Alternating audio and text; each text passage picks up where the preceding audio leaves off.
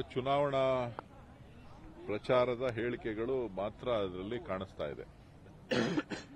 ಇವತ್ತು ಏನು ಬಜೆಟ್ ಅನ್ನ ಇಂಟ್ರೀಮ್ ಬಜೆಟ್ ಅಂತ ಹೇಳಿ ಪ್ರೆಸೆಂಟ್ ಮಾಡಿದ್ದಾರೆ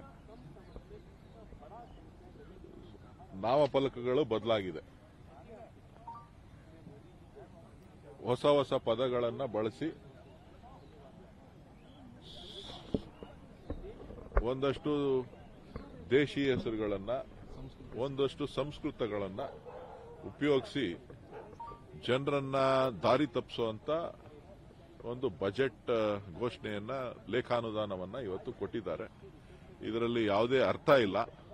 ಇವತ್ತು ಯಾವ ಬೆಲೆ ಏರಿಕೆಯ ಬಗ್ಗೆ ಮತ್ತು ನಮ್ಮ ಎಕನಾಮಿಕ್ ಸರ್ವೆ ಇಡಬೇಕಾಗಿತ್ತು.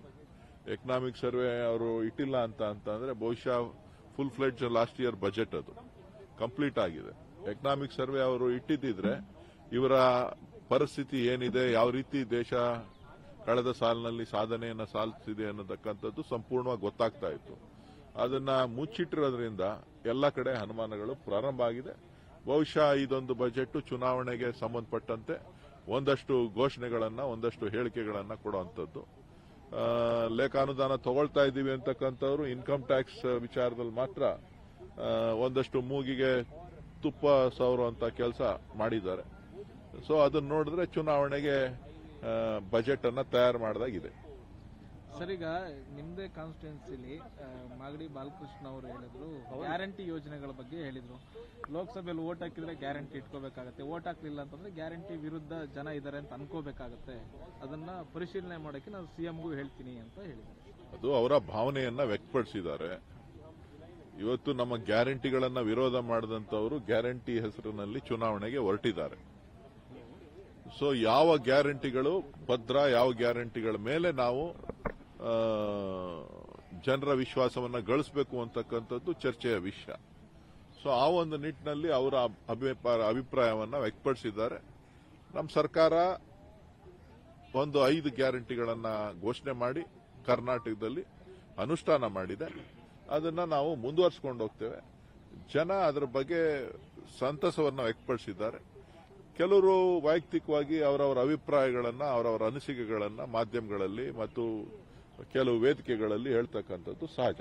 ಸರ್ ಈಗ ನಿನ್ನೆ ರಾಷ್ಟ್ರಪತಿಗಳ ಭಾಷಣದ ಮುಂದುವರೆದ ಭಾಗ ಅನ್ನೋ ತರ ಬಜೆಟ್ ಇದೆ ಅನ್ನುವಂತಹ ಚರ್ಚೆ ಶುರುವಾಗಿದೆ. ಅಲ್ಲ ರಾಷ್ಟ್ರಪತಿಗಳ ಕೈಲಿ ಅವ್ರ ಪ್ರಚಾರನ ಮಾಡಿಸಿದ್ದಾರೆ. ಇವತ್ತು ನಿರ್ಮಲಾ ಸೀತಾರಾಮನ್ ಅವರು ಎರಡನೇ ಅಧ್ಯಾಯನ ಹೇಳಿದ್ದಾರೆ. ನಿನ್ನೆದು ಮೊದಲನೇ ಅಧ್ಯಾಯ ನಿನ್ನೆದು ಎರಡನೇ ಅಧ್ಯಾಯ ಮೂರನೇ ಅಧ್ಯಾಯ ಐದನೇ ತಾರೀಕಿದೆ. ಓಕೆ ಸರ್ ಇನ್ನೊಂದು ಅವ್ರು ಹೇಳೋದು ಮುಂದಿನ ಸರ್ಗೂ ಸಹಿತ ನಾವೇ ಬರ್ತೀವಿ ಅಧಿಕಾರಕ್ಕೆ. ಹಾಗಾಗಿ ಮಧ್ಯಂತರ ಬಜೆಟ್ ಏನು ಕೊಡಲ್ಲ ಫುಲ್ ಫ್ಲೆಡ್ ಬಂದಾಗ ನಾವು ಕೊಡ್ತೀವಿ ಅಂತ. ಅದನ್ನೇ ಮಾತನ್ನ ಹೇಳಿದ್ದು. ನೋಡಿ ಇದು ಇವತ್ತಿನ ಪರಂಪರೆ ಅಲ್ಲ ಈ ಲೇಖಾನುದಾನ ಪಡಿತಕ್ಕಂಥದ್ದು. ಬಹಳ ವರ್ಷಗಳಿಂದ ನಡ್ಕೊಂಡು ಬಂದಿರತಕ್ಕಂಥದ್ದು. ಚುನಾವಣೆಗೆ ಮುಂಚಿತವಾಗಿ ಯಾವುದೇ ಬಜೆಟ್ ಅನ್ನ ಯಾರು ಕೂಡ ಕೊಟ್ಟಿಲ್ಲ. ಅದನ್ನ ಇವರು ಮುಂದುವರಿಸಿದ. ಆದ್ರೆ ಇವರು ಹೇಳಿದ್ನಲ್ಲ, ನನ್ನ ನಾಮಫಲಕಗಳು ಬೇರೆ ಬೇರೆ ರೀತಿಯಲ್ಲಿ ಒಂದಷ್ಟು ದೇಶೀಯ ಭಾಷೆಗಳನ್ನ ಉಪಯೋಗಿಸಿ ಹೇಳುವಂಥದ್ದು, ಒಂದಷ್ಟು ಸಂಸ್ಕೃತವನ್ನ ಉಪಯೋಗಿಸ್ತಕ್ಕಂಥದ್ದು, ಸಮಯಕ್ಕೆ, ಸಂದರ್ಭಕ್ಕೆ ತಕ್ಕಂತೆ ಮಾತುಗಳನ್ನ ತಿರ್ಸ್ತಕ್ಕಂಥದ್ದು ಈ ಒಂದು ಬಜೆಟ್ ಮತ್ತು ಅವರ ಸಂಸ್ಕೃತಿ, ಅವರ ಆಚಾರ ವಿಚಾರಗಳು. ಸರ್ ಇನ್ನೊಂದು ಈಗ ಎಪ್ಪತ್ತೈದು ಸಾವಿರ ಕೋಟಿ ರೂಪಾಯಿ ಪ್ರತಿ ರಾಜ್ಯಗಳಿಗೂ ಸಹಿತ ವಿಥೌಟ್ ಇಂಟ್ರೆಸ್ಟ್ ಐವತ್ತು ವರ್ಷಗಳ ಕಾಲ ಕೊಡ್ತೀವಿ ಅಂತ ಹೇಳಿದ್ದಾರೆ. ಸಾಲ ಕೊಡ್ತೀವಿ ಅಂತ ಹೇಳಿದ್ದಾರೆ. ಅದನ್ನ ನೀವೇನು ಸ್ವಾಗತ ಮಾಡ್ತೀರಾ ಅಥವಾ ಅದನ್ನ ಯಾವ ರೀತಿಯಾಗಿ ನೋಡ್ತೀರಾ ಅಂತ? ನಮ್ ದುಡ್ಡು ನಮಗೆ ಕೊಟ್ರೆ ಸಾಕಾಗಿದೆ. ಇವತ್ತು ನಮ್ಮ ಬೇಡಿಕೆ ಏನಿದೆ?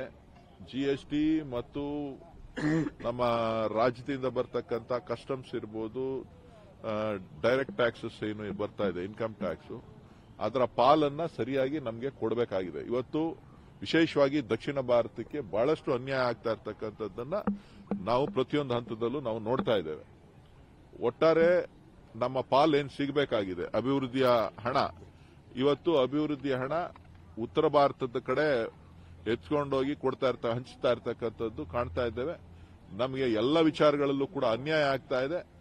ನಾವು ಅದನ್ನ ಮುಂದಿನ ದಿನಗಳಲ್ಲಿ ಖಂಡಿಸಲಿಲ್ಲ ಅಂತ ಹೇಳಿದ್ರೆ ಪ್ರತ್ಯೇಕ ರಾಷ್ಟ್ರಕ್ಕೂ ಕೂಡ ನಾವು ಬೇಡಿಕೆಯನ್ನ ಇಡಬೇಕಾದಂತಹ ಅನಿವಾರ್ಯ ಪರಿಸ್ಥಿತಿಯನ್ನ ಹಿಂದಿ ಪ್ರದೇಶದವರು ನಮ್ಮ ಮೇಲೆ ಹೇರ್ತಾ ಇದ್ದಾರೆ ಅಂತ ಹೇಳಿ ನಾನು ಭಾವಿಸ್ತೇನೆ. ಗಂಭೀರವಾದಂತಹ ವಿಚಾರ ಎತ್ತಿದ್ರೆ ಎತ್ತಿದ್ದೀರಿ ಸರ್. ಯಾಕಂದ್ರೆ ಪ್ರತ್ಯೇಕ ರಾಷ್ಟ್ರದ ವಿಚಾರ ಅಂದ್ರೆ ದಕ್ಷಿಣ ಭಾರತ ಉತ್ತರ ಭಾರತ ಅನ್ನುವಂಥದ್ದು ಇವತ್ ಇವತ್ತಿನ ಹಣಕಾಸು ವ್ಯವಸ್ಥೆಯನ್ನ ಹಂಚ್ತಾ ಇರತಕ್ಕಂತ ಒಂದು ಪರಿಸ್ಥಿತಿಯನ್ನ ನೋಡಿದ್ರೆ ನಮ್ಮ ರಾಜ್ಯಗಳ ಹಣ ಉತ್ತರದ ಭಾರತಕ್ಕೆ ಹೆಚ್ಚು ಕೊಡ್ತಾ ಇರತಕ್ಕಂಥದ್ದು, ನಮಗೆ ಅನ್ಯಾಯ ಆಗ್ತಾ ಇರತಕ್ಕಂಥದ್ದು. ಯಾವುದೇ ವಿಚಾರಗಳಲ್ಲಾಗ್ಲಿ. ನಮ್ಮ ಮೇಲೆ ಹಿಂದಿಯನ್ನ ಏರಿಕೆ ಮಾಡ್ತಕ್ಕಂಥದ್ದು. ನಿನ್ನೆ ರಾಜ್ಯಪಾಲರು ನಮ್ಮ ಕನ್ನಡದ ಫಲಕಗಳನ್ನ ಹಾಕ್ಲಿಕ್ಕೆ ಅವ್ರದ್ದೇನಿದೆ ಯಾತಕ್ಕೆ ಅವ್ರು ತಿರಸ್ಕಾರ ಮಾಡ್ತಾರೆ?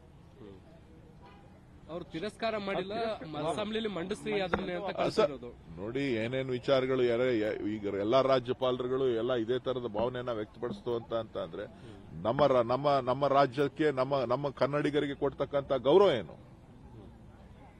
ಕನ್ನಡಿಗರಿಗೆ ಕೊಡ್ತಕ್ಕಂಥದ್ದು ಅದರಲ್ಲೇನು ಮಿಸ್ಟೇಕ್ಸ್ ಏನಿದೆ?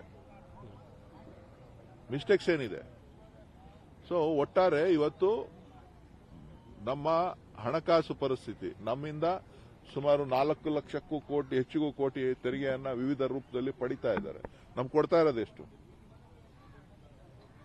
ಇದನ್ನ ಪ್ರಶ್ನೆ ಮಾಡಬೇಕಾಗ್ತದೆ. ಇದು ಸರಿ ಹೋಗ್ಲಿಲ್ಲ ಅಂತ ಅಂತ ಅಂದ್ರೆ ಈಗಾಗಲೇ ಸಿಕ್ಸ್ಟೀನ್ ಫೈನಾನ್ಸ್ ಕಮಿಷನ್ ಕೂಡ ಪ್ರಾರಂಭ ಆಗೋದ್ರಿಂದ ಅದರಲ್ಲಿ ಸರಿಪಡಿಸಲಿಲ್ಲ ಅಂತ ಅಂತ ಅಂದ್ರೆ ಖಂಡಿತ ದಕ್ಷಿಣ ಭಾರತದವರೆಲ್ಲರೂ ಕೂಡ ಒಂದು ಕೂಗನ್ನ ಎತ್ತಬೇಕಾದ ಧ್ವನಿಯನ್ನ ಏರಿಸಬೇಕಾದಂತದ್ದು ಅನಿವಾರ್ಯ ಆಗ್ತದೆ. ಬರ ಪರಿಹಾರದ ಈವನ್ ಸಿಎಂ ಅವರು ಕೂಡ ಹೇಳ್ತಾ ಇದ್ರು ಫಿಫ್ಟೀನ್ ಫೈನಾನ್ಸ್ ಕಮಿಷನ್ ನಮ್ಗೆ ಕೊಡಬೇಕಾಗಿದ್ದು ಕೊಟ್ಟಿಲ್ಲ ಅನ್ನೋದು ಪದೇ ಪದೇ ಹೇಳ್ತಾ ಇದ್ರು. ಅಲ್ಲ ಫಿಫ್ಟೀನ್ ಫೈನಾನ್ಸ್ ಅಲ್ಲೂ ಕೊಟ್ಟಿಲ್ಲ ನಮಗೆ ಏನು ಕಾಂಪನ್ಸೇಷನ್ ಏನು ಟ್ಯಾಕ್ಸ್ ಕಾಂಪನ್ಸೇಷನ್ ಕೊಡಬೇಕಾಗಿತ್ತು ಅದನ್ನು ಕೊಟ್ಟಿಲ್ಲ.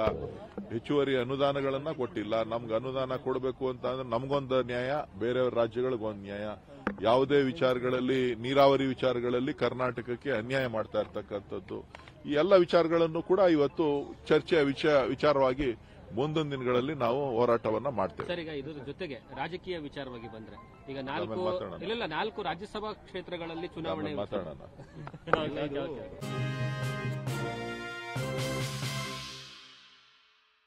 Stay with the Times of India for news breaks, analysis, interviews, and events. We bring you stories from your neighborhood and from across the globe as well. Subscribe to our YouTube channel, hit the like button, and press the bell icon so you don't miss any of our videos.